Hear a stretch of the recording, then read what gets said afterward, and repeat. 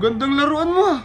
Parang siya, pinagreluang ka lang. Kung wala ka nang maintindihan, kung wala